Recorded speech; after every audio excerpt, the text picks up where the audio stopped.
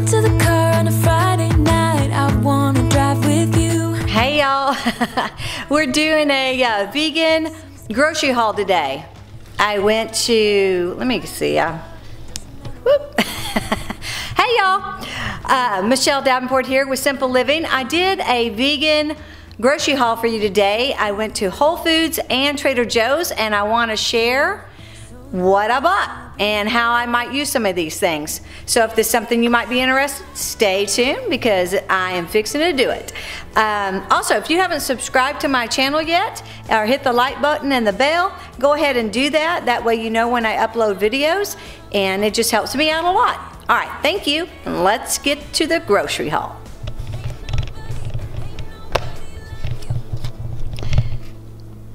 Okay, we're gonna start with Trader Joe's because I didn't get as much as I normally do.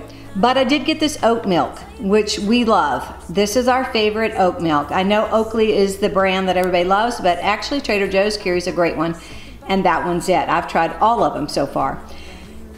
And these black bean corn enchiladas. They're froze in the frozen department at um, Trader Joe's, and I'm telling you what, y'all, for a quick and easy lunch, um, on the go or if you're gonna go like when I go to my daughter's or something, this is something I can just grab and take and don't expect her to cook me something vegan. I already have it, I just bring it with me. Um, again, it's just something easy to do for lunch or on the go.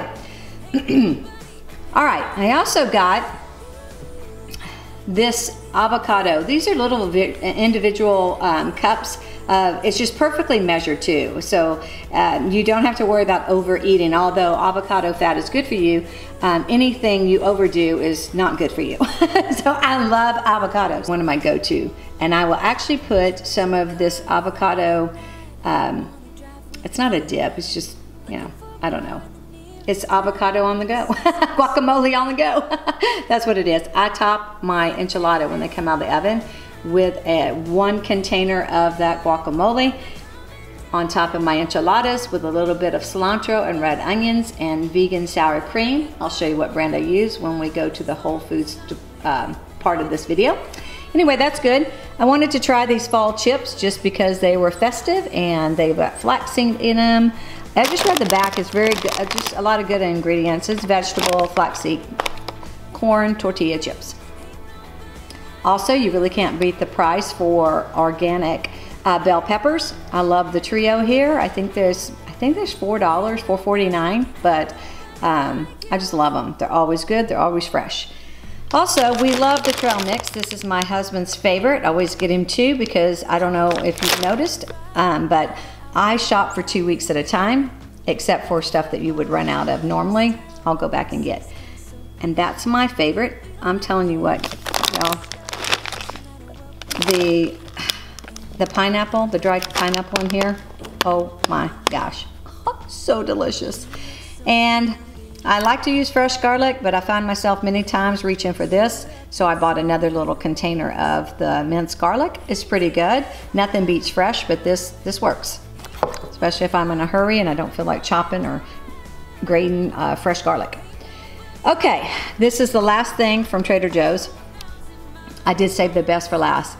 Oh my goodness. I'm going to tell you what, there's two to a pack. You take them out, they're individually wrapped. You put them on a little plate, you wait like, I don't know, two or three minutes. You pop them out of their little container, put them in your ice box, and two hours later, they are so delicious. I've had them on their own with just a little whipped cream, uh, vegan CocoWhip, or they have silk heavy whip now out and you can make your own and that's equally delicious it's just not as firm but it's really good um, my video, my uh, banana wafer pudding video, I'll put it somewhere up in the corner on this video. I use that whipped cream and it's so good. But also, I found a trick because we used to buy, I forget what brand it was, Eddie's or um, key lime pie. And what, but when I came became vegan, no more. So this is so good. I make a vegan lemon curd, and if you want the recipe, let me know and I'll do a video. I put lemon vegan curd on top of this with blueberries, raspberries, blackberries, all three. I'll use one, one or the other. I mean, it is just, it is the most delicious key lime pie I've had since turning vegan. So that is a go-to. And I believe they're under four bucks. I think they're $3.49 too. Also for two of them. I always stock up. I've got like six of them already. I'm a hoarder of cheesecake. Okay, let's move on to our Whole Foods. But you guys, if you don't get anything from my Trader Joe, uh, Joe, my Trader Joe's uh, haul, you got to get that. All right. I love this Meatless Farms meat. It's like a mince meat, and I'm telling you, it grinds up and uh, and just it just cooks up just like regular ground beef. Um, it, it is a little freaky because it, it just does exactly what ground beef does. I make tacos out of it. And I make also, and I buy this, get this from Trader Joe's. It's so good. I just dump the whole thing in there. And we make, oh my gosh, with some black beans. It is delicious. Also, I make meatloaf with this, and I'll use one um, sausage, vegan sausage link to uh, to go with it, one spi spicy link, and I'll put the rest of this and make a, a meatloaf. And it is, I have worked and worked to, to, to perfect um, my mother's meatloaf. And that's the way I do it. One sausage link to, let me take you to the freezer because I can't remember the name of the sausage. So, it's Beyond. I don't know if you see it, but it's Beyond sausage. And I use the spicy one. There you go. Just Beyond spicy sausage. Anyway, I use one of those and then I use the other three to um, to make a pasta or whatever. I don't. I just I thought it all out, and then I use three of them for a pasta, and then one of them for the meatloaf. Also, I get this. This is their quinoa, black bean quinoa salad. I love to make this with um, just some low carb wheat tortillas and just eat this like as a burrito. I just put it in there and roll it up, and it's a fast and easy lunch. In addition, this is a new one of my faves. This is a tamale. Oh my goodness. It has the masa flavor of a traditional tamale. You know, I'm from South Texas, so I know what a tamale tastes like.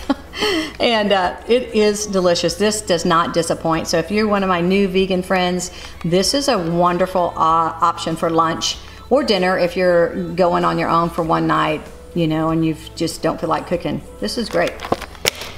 Okay, a girl's got to do what a girl's got to do. These are vegan maple donuts. Yes, they have donuts. yes, they're vegan at Whole Foods. Another one of our favorites. let me just. Abe's uh, lemon poppy seed muffins. Love them. So good. Our go-to bar is GoMacro Bars. We love the cherry and berries, and if you can't tell, we love, let me see if it'll focus, peanut butter and chocolate chip. So I got some of those. I want to try this um, apple cider, this spice apple cider from Whole Foods. All of this is. Then we've got ketchup, because as you do, you need to restock your ketchup. And I got five of those because that's my go-to alternative milk. So I got five of those. So we love the Dave's bread. My husband loves the power seed and I like the good seed. This is only 70 calories for a slice, so that's awesome. Also like this cocoa, the So Delicious um, yogurt. I put this with all my berries. So I'll have a scoop of this, I'll put some granola on there, and then some berries, maybe a banana, half a banana, and that's breakfast sometime, or a snack after I have a smoothie. Love, love, love this So Delicious vanilla. Bananas, because I love to make banana bread during this time ranchero beans. And then my friend Kim, she did a video, her and her husband, um, on they tasted all the Gardein soups and they said the beef and veggie and the chicken, um, which is not, it's chicken noodle, doesn't have any real meat in it. But they said these two were the best, and so I picked those up to try. And I trust she has never led me wrong. Got some tomato sauce for chili, and I also use that Meatless Farms mince um, wannabe meat down there. I also use that to make chili. It makes the most authentic chili. These are our diced um, fire roasted tomatoes. Me and Superman make ghost pepper um, salsa, which I don't know if this is going to be loaded up on YouTube before I, I load the one for ghost pepper salsa. But if if this one, if I do the ghost pepper next, then I'll put a link in the corner somewhere in the corner of this video so you can click on it and you can get that recipe. But that's what we use: canned roasted fire tomatoes, fire roasted tomatoes. A girl can't have a grocery haul without some apples. Um, my daughter has turned me on to such an awesome um, recipe using apples. And you pretty much dice up some apples, throw it in some coconut oil. I don't like a table, maybe two tablespoons to two apples diced up. You cook that a little bit then you go ahead and add just, you know, a couple of glugs of uh, maple syrup. I, the way I can see it, you can't do this wrong. She, she did it a couple of times and she didn't add the same amount either and they turned out delicious. Then you add a little bit of uh, maple syrup, how much ever, maybe, you know, a third of a cup. Then you cook that for, I don't know, two or three minutes, get it bubbling pretty good. Throw in some cinnamon if you want to, nutmeg, and then a couple of handfuls of oats, gluten-free oats if you try to do gluten-free, which I do or just plain old oats. Throw that in there, cook it another three or four minutes. Turn the heat down a little bit when you're cooking it that last three or four minutes uh, until everything kind of gets gooey. Take it off the heat and add, oh, I'd say half a teaspoon to a teaspoon of fresh vanilla. And oh my gosh, y'all, I'm not kidding you. It's like eating an apple pie. Now, if you want me to do a video on that and show you how to do it, let me know in the comments and I'll be happy to do that for you. But it is easy breezy. Also, you can top that with vegan vanilla ice cream, which would be amazing. So delicious, makes a pretty good um, alternative ice cream. So does uh, Nomu, makes the best vanilla bean vegan ice cream. NadaMoo, I'm sorry, no moo. NadaMoo. And I found it at Whole Foods. And I think it might be, maybe at Walmart, I don't know. But it is definitely at Whole Foods and Sprouts.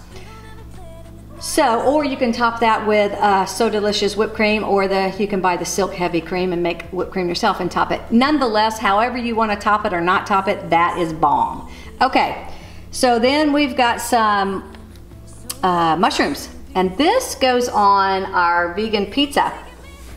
Let me come down here. I do a sourdough vegan pizza where you simply just put the sourdough and you put your cast iron skillet in the oven at about, I don't know, 375, 400. No, it's about 400 to 425.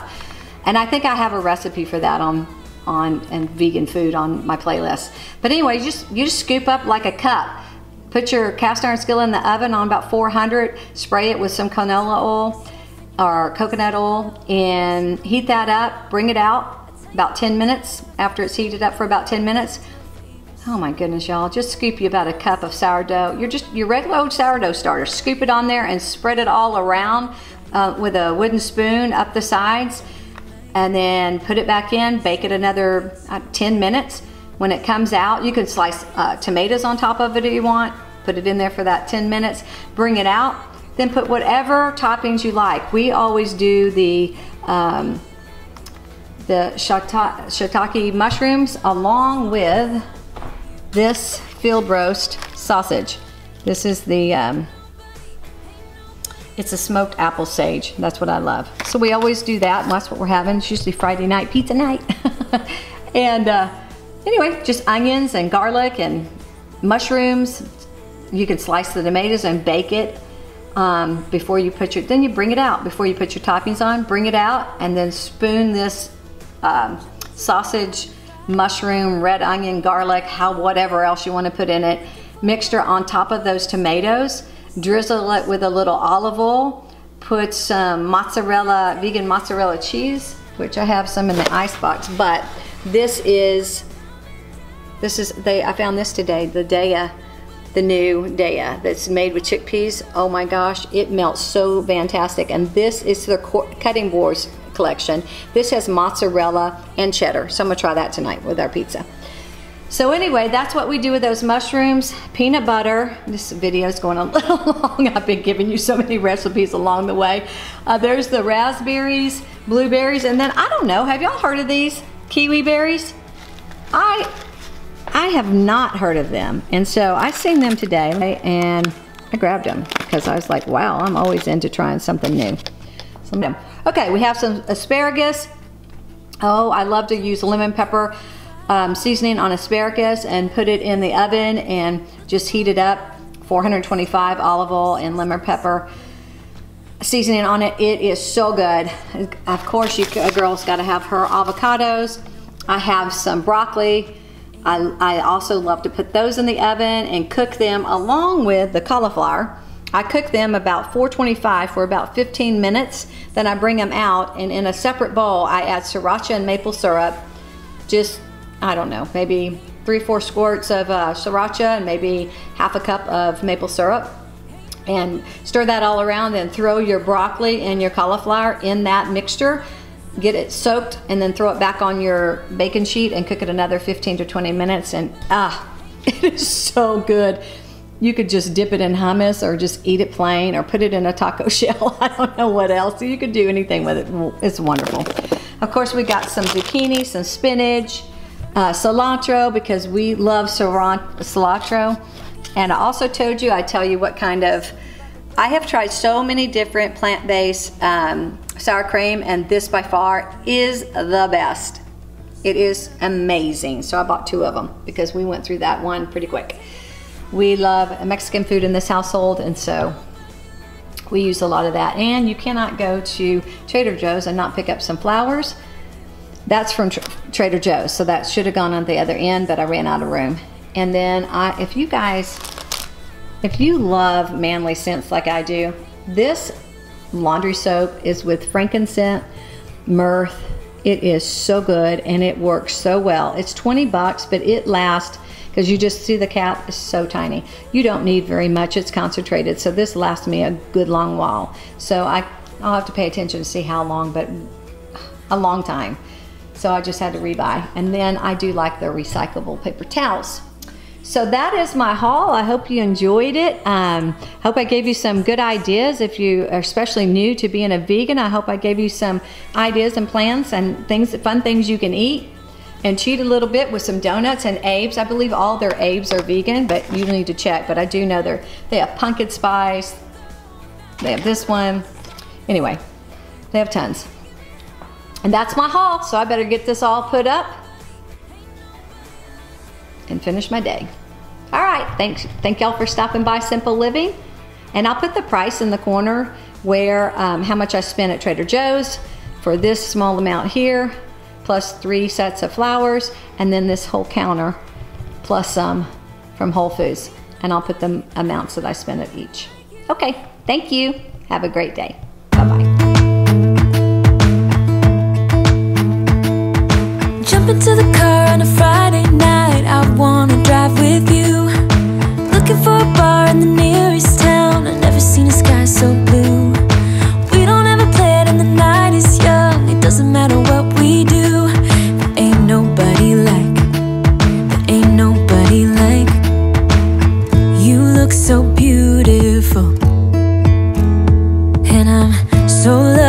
to be yours.